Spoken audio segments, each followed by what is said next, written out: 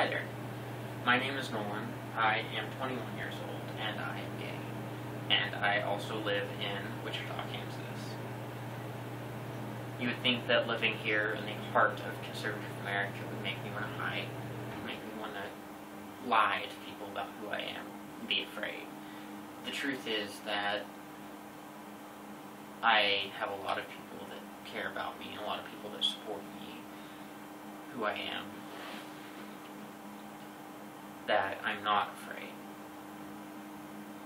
In fact, I'm more afraid of what I see on TV, of the uh, the people out there that hate hate people who are gay, who are lesbian, who are bisexual, who are transgender.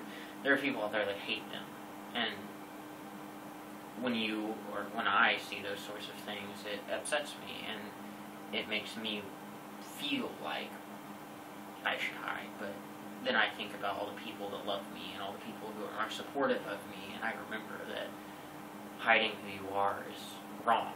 Being yourself is what's right. Being who you are is what's right. And even in those instances where you feel like the whole world is against you, there's always going to be someone out there who supports you and who loves you will help you. Even here in the heart of conservative America, it gets better. Instead of being disheartened or being afraid, look to the people who care. Um, because they will help you. Even in the most unlikely places like this, there are people just like you